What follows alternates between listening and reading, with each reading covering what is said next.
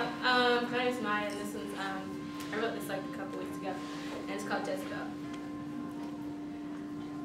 Eyes that glimmer with temptation, a mouth that curves at the thoughts of the boys walking behind her. A full chest that screams the glory of Eve, stomach smooth like an African plateau, hips that sway to the rhythm of lust as a group of people sing along to that same song, legs that go for miles, that lead up to the common man's metaphorical medallion. Her name is Jessie. And I have never met her. But I have heard the whispers of the ones who hate her, the ones who love her, and the ones who would simply just like to mate with her. Since I have not seen the truth, I will believe that everything that I hear are lies. But you know something? I think I know Jessie. I think I know Jessie just fine. I know that Jessie does not feel pretty. I know she remembers the, the playground where she cried, where Bertrand Finley used to pop her bra straps that not only scarred her shoulders but her heart. She remembers the fat finger that waved in her face and pointed at her frizzy hair and she remembers his demonic and deep laugh because it haunted her for nights, and that was the first time that she ever felt like a slave to a man. Then there was that basketball player who was tall, who was handsome, whose hands made her feel beautiful. He looked at her like he loved her. But when she refused to take off that same bra, he walked out on her. And she remembers shaking against her bed sheets leaving him drunken voicemails begging him to come back because she thought she was in love with him.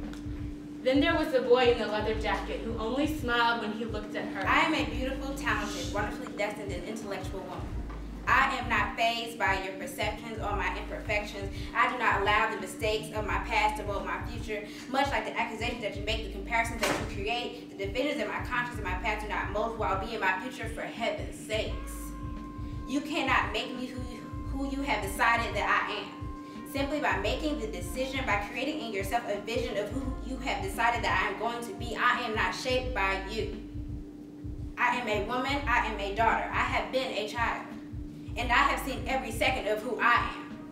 And yet, still I do not truly know who I am.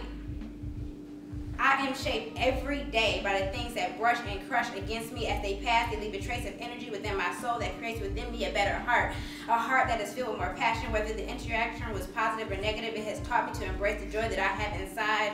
For one who travels with a negative spirit travels with an unfortunate view.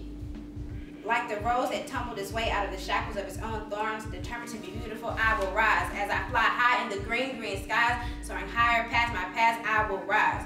You cannot mold me into the person that you want me to be because I am the spirit of the person that God created me to be. I am not your project. I am not your trial. I am me and I will rise. And when I get there, fuck you if you already excused yourself from the table. Fuck you if you shit on my One table. of the worst feelings in the world is the inability to feel. Yet my peers glorify this show no love trend, which is really just a blend of fear and conceit conceit because you think your feelings are more important than everyone else's and that everyone else should cater to you by centering their world around everything you do. But it's fear because you're afraid to get hurt, so you hurt the ones who would then you first. I actually find it kind of funny. We measured our worth in terms of money. We made our happiness dependent on meaningless relationships, and we judged our character based on how many people want to get with us.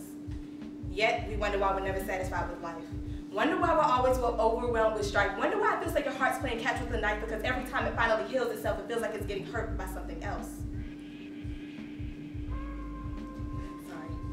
And at school, when I try to concentrate, the only problem I can contemplate is how many tears does it take to make a heart break? Or how many breaks can a heart take from love before it can only fake love? You see, my generation forsakes love, claims to hate love, but is always so willing to take love from the first person to claim love despite the fact that it's not the same love they dreamed of. Damn. And why, and why do they do it? Not to say that they love, but to say that they've been loved. But with so many people wanting to be loved, I just don't understand why so many people ignore the Father above trying to substitute a relationship with God with a humanly love. You want that he'll die for me type love, and he did that before you were born. He has that I'll never leave your side type love, but for some reason you're still torn between him and the world. But what you don't understand is that if you seek a relationship with God, everything else will fall into place. and you'll lose that urge to chase love and fake love. You'll learn to embrace love, reciprocate love, but most importantly, wait for love. So that love is pain will no longer be your mentality, and you'll know. So that love is pain will no longer be a reality, and you'll no longer be a victim to the show no love mentality.